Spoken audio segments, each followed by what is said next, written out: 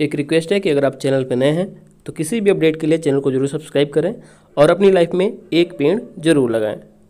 तो S S C M T की ये दूसरी रिक्रूटमेंट है एम टी की और हवलदार की।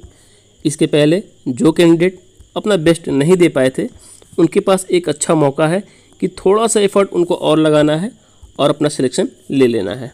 बात करें ऑनलाइन एप्लीकेशन फॉर्म की तो 30 जून यानी कि कल से फॉर्म फिल करना शुरू हो चुका है और आप लोग 21 जुलाई तक फॉर्म फिल कर सकते हैं। बात करें ऑनलाइन पेमेंट की तो आप लोग 22 जुलाई तक ऑनलाइन पेमेंट कर सकते हैं। चालान जनरेट करने का जो लास्ट डेट है, वो है 23 जुलाई, और चालान के थ्रू पेमेंट करने का जो लास्ट डेट है, वो आपका 24 जुलाई।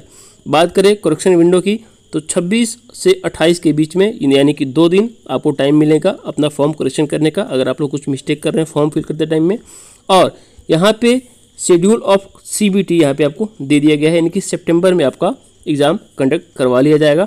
बात करें अगर टोटल वैकेंसी की तो एमटीएस की जो अप्रोक्सीमेट वैकेंसी है, वो है आपका वन वन नाइन एट यानी कि ग्यारह सौ अंठानवे, और हवलदार की यहाँ पे थ्री सिक्सटी बात करें एज लिमिट की तो एमटीएस के लिए एक अगस्त आपका रखा गया है क्रूशियल डेट यानी कि पच्चीस साल होना चाहिए एमटीएस के लिए, और हवलदार के लिए मैक्सिमम सत्ताईस अट्ठारह से पच्चीस और अट्ठारह से सत्ताईस हवलदार के लिए।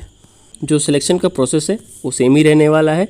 एक ही सीबीटी होगा आपका और उसी में सेशन वन और सेशन टू होगा।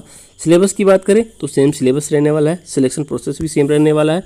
तो आपके पास एक अच्छा मौका है। थोड़ा सा एफर्ट लगाइए। इस बार अपना सिलेक्शन लेके जाइए। चैनल पर नए हैं तो चैनल को ज़रूर सब्सक्राइब कर दीजिएगा। धन्यवाद।